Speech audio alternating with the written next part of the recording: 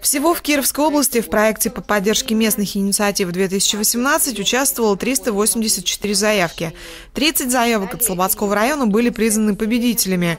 Общая стоимость проектов составила 29 миллионов 528 тысяч рублей. Областной субсидией до 500 тысяч рублей воспользовались 18 проектов. Субсидией более полумиллиона – 12. Самую большую субсидию от области получил проект «Ремонт наружного водопровода села Бобина» – 1 миллион 422 тысячи рублей.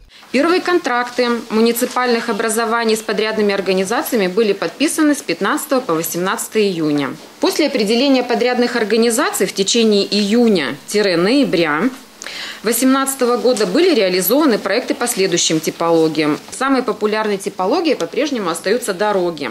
Всего же с 2011 по 2018 годы в рамках ППМИ было реализовано 156 проектов, и более половины из них касалось как раз ремонта дорог. В отчете по реализации ППМИ были представлены фото объектов до ремонтных работ и после.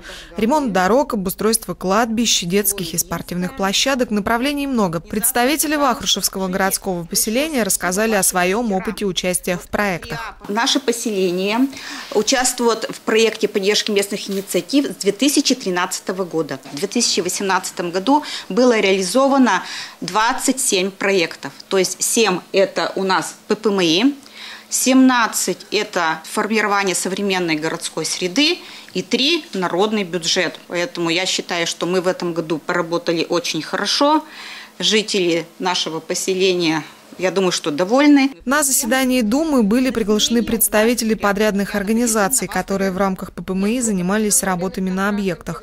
Каждому из присутствующих вручили благодарственное письмо с главной мыслью «Спасибо, что сделали качественно и в срок». Огромное человеческое спасибо за качественное, быстрое исполнение работ. Мы благодарны, что есть такие подрядчики, которые делают так красиво и хорошо. Низкий поклон от населения. Проект по поддержке местных инициатив продолжается. Слободской район вновь участвует. Результаты конкурса ППМИ 2019 будут известны в марте следующего года.